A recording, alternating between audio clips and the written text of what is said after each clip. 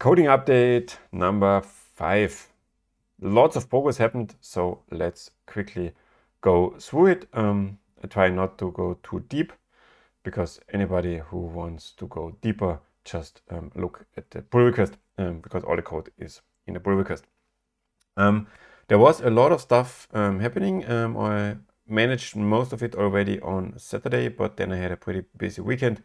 So I didn't do a video and now I got the time um, to do some catch up. So let's go um, quickly through it. On the tasks to be done, what happened? As I said, the loan payback I didn't touch yet. Um, one thing is I realized that with this um, splitting, since we uh, I used the token split, the um, already existing token split, this refunding of pending futures is already um, yeah implemented and just um, reused there. And then what also happened is that I'm now locking all the things, the token balances, the collateral, and the pool reserves. 90% um, of it is now locked. And I also created an RPC call to get the locked funds per address um, today. And now, yeah, that's that's basically it. Um, one thing that I noticed that I added this fixes um, list here. Um, yeah, it's still as mentioned um, last time that the EVM block hash is not matching. Um, yeah, that's still a topic. I don't know why, but I'm yeah just noted here that I have to or someone has to check it later on. And I realized that the amount minted misses the collateral values. So after the split, the minted amount of the tokens. So that's something to uh, check. And also um, I doing that because when I found out that this is a topic, I also realized that it might also, or it likely also misses the EVM balances. And that is likely already the case on the current token split. So it's likely the case that we already have a bug in there. Um, that for, I mean, it's just for accounting, uh, for the statistics. So no issue in the yeah in the day-to-day balance um, the, in the usage, but um, there might be a wrong number missing the EVM balances for NVIDIA after the split because that's that's there. Um, yeah, would need to check somewhere, someone. Um, yeah, with that, let's let's dive right in. Um, what what I did, what changed. Um, on the one hand, I'm not sure if I already did that. I think I didn't do that in the last one. Um, but during this lock tokens of balances and collateral pool, so that's the um, method that I added. It's yeah in this process token lock. First we close all the loans, then we convert all loan tokens for the token lock. Um, so the tokens and pools are converted, and then we lock the tokens of lock tokens of balances, collateral, and pools. And during that, I um, encountered for the um, um, histories, for the balance history um, entries. We need a reference um, transaction so that the history can say, this is a history entry or a change, a balance change that's triggered by whatever. And we do the token lock so that we really have the, the history correctly that shows, okay, those funds got taken from your address due to the token lock. Um, and yeah, I'm not sure what, because I'm honestly still a bit confused by this usage of characters and randomly spread around. Um, and I yeah didn't find one that's free fast.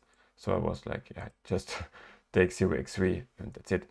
Um, because I think 0x 0, 0x1 and I thought 0x2 is also somewhere Okay, maybe maybe I missed it.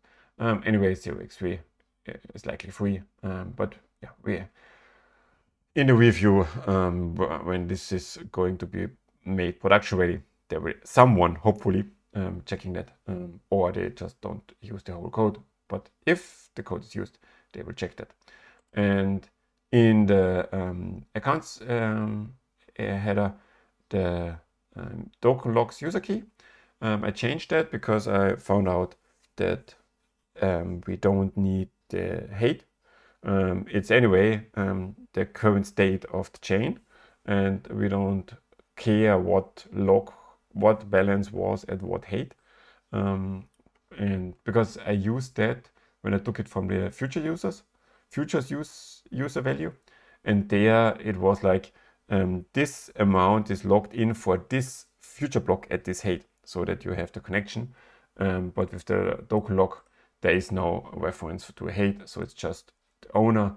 Um, I guess we could reuse some other lock, some other key, which is just the owner. Um, but yeah, for now, I just took that. And that's that's it with the changes in the headers. Um, so let's look at the code that happened. Um, as I said, this should log all the stuff. Right now, um, if you look in here, I have this logged amount, which is currently, yeah, this is, okay, maybe let's add a to do here.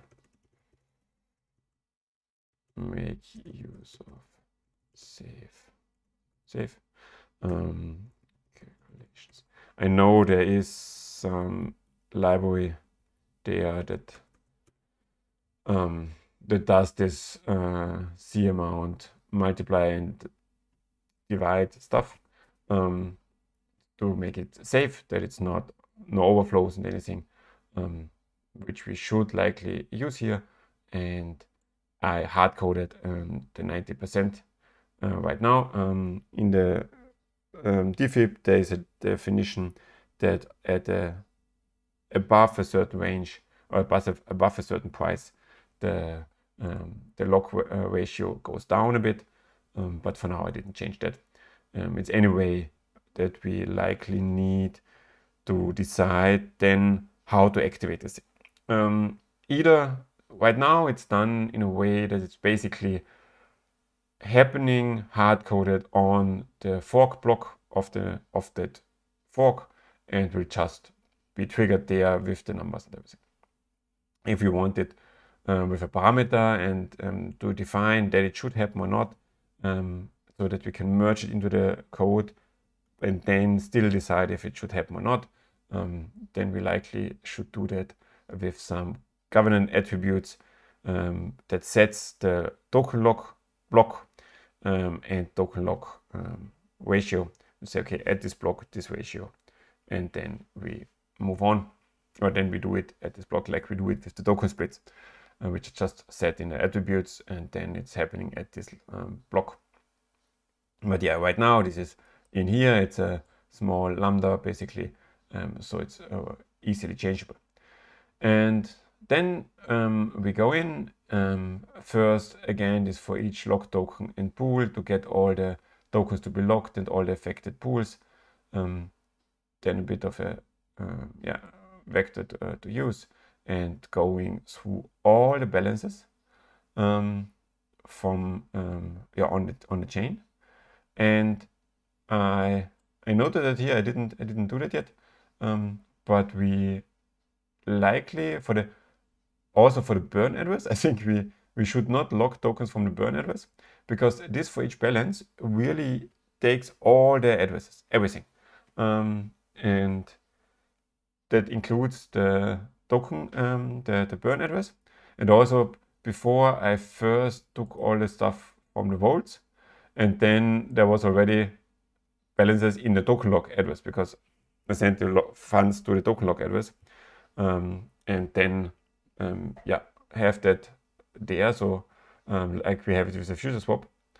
But yeah then I lock tokens from the token lock address uh, so we lock them which doesn't make sense. Um, and yeah, so this, this needs to be um, ignored um, yet. And then I have this, okay, for all the balances, if this token um, should be locked, so it's in the tokens to be locked and there is a balance, then calculate um, how much of it should be locked, the 90%. Um, a lot of logging, and here is this history position. We say, okay, history subview means something got removed from the address, and there's this token lock um, that's yeah removing this thing from the address uh, exactly and then the subview or that we say yes this is a token lock and then we sub balance um, this amount um, flush the uh, history view and lock the token. And this lock token is again just a small helper function that takes the smart contract and creates this balance view for the uh, contract address that we say, okay, things went into the contract and um, get the and update the stuff. So we send the balance there and we update the account basically account values in the in our uh, database. Um, so we store the lock token lock user values that we know that amount belongs to this user. And then we move on, we have the balances and afterwards we do the same for the pools. Now it's a bit more complicated because for the pools, um, again, amount to lock, we have to just the pool balances to process because here we have this. If the token should be locked, lock it directly. If the token, if it's the ID is from an affected pool, then save it to the token uh, pool balances to process, and then we process that. That say, okay, remove that pool balance, um, get the pool, lock the amount, um, get the amount of LP tokens, so the pool part, to be locked. Remove that um, from the subbalance. Yeah, we, we remove the, the token, um, uh, the, the LP tokens from the address because they are just gone then. They are not, yeah, yeah, they are burned. Um, they are just reduced. Um, and we remove the funds from the, the reserve, the according reserve is the amount locked times reserve divided by total liquidity. So that's your part that should be removed and locked um, that are removed from the pool. And then we have the decision here. If this token should be locked, then this is directly locked away. So it's not hitting your address, but goes directly to the lock um, for you, so um, for the owner. And if it not should not be locked, so in a gateway pool, then the balance goes directly to your account. And the other side too, if the other if the token B um, should be locked, then it moves over. Otherwise, it goes to your account. And then we update the pool pair that because we updated the balances and everything and the reserves. This is something that you likely should um, do once, so not um, to keep them in memory and update them afterwards um, to be a bit more performant. But right now, um, let's do it that way. And then last step for each vault collateral, go in, check if this vault collateral should be locked. In this case, in our case, we know it's just USD, but this is the generic code on the on the chain, so it's not should not have too much hard coded stuff in there. Um, so to assume anything, um, so this is again amount to be locked um, and just removing the collateral from the vault. Um, one thing that I, uh, uh, yeah, an error that I made in the in the first try, where I because I assumed that this would remove it from the vault and put it into my account, but this is just really those things are always just changing what it says. It says sub subtract volatile, uh, vault collateral, so it removes collateral from the vault. Means afterwards the vault has less collateral and the funds are gone there are no errors because um, if you want to really um, withdraw it from the collateral from the vault to the address, you need to subtract the collateral on the address and add it to the balances, right? Um, so that's that's important here. That's why I just subtract the collateral and directly say lock token, which means I add the this token amount in the lock contract and everything. Um, but this is not moved from somewhere, but basically created here because it's moving funds from one address to the other. It's always like subtracting the balance on the one side and adding the balance on the other side. And in this case, we do exactly that. We subtract it directly from the vault collateral and add it in the token lock. And therefore, you can think about it as move it from the collateral directly to the lock. Um, but just um, keep in mind that this, this method does nothing else, but we move it from the collateral and this does nothing else then add it to the token lock. Exactly, and that's it. Then collaterals and um, balances and pool, uh, pools and balances are all um, yeah updated uh, or locked and then so that's this whole locking stuff and then what also happened is that in these RPC accounts I also added um, two new um, RPC methods. And they are done like that. I just basically copied over the code from the get pending future swaps. Um, and here we have the list locked tokens, um, which just iterates for each token lock user values, the thing that we did three videos ago, I think, or two, um, iterating over all the keys, so all the owners uh, lock user value, um, going in and um, get the owner and then a list of values, which is just the balances that I have in my lock values. I have the balances and just yeah, iterate over um, iterate over them and put them into the um, into the result. And the second one that directly gives you the locked tokens for one address because this lists all locked tokens for everything um, for all accounts and this gives you the locked tokens for one address. Again, just going in and here I now use the get token lock user value for exactly this key, so not no for each, but exactly that one again converting all the balances just to the strings and then um, reciting the RPC um, stuff. And that's it. That's basically everything. Um, here in the test case, I added a bit of this mintable because that's how I found out when I added in the test case the how many tokens are minted for this address and then I realized that I um, missed the um, all the pools uh, all the balances that are in the pools um, to add it to the minting because previously that was done in the token split when the pools were split directly in the token split. But as I said last time, I think that I'm keeping the pools outside and then splitting them all at once um, because otherwise we do, would do that twice.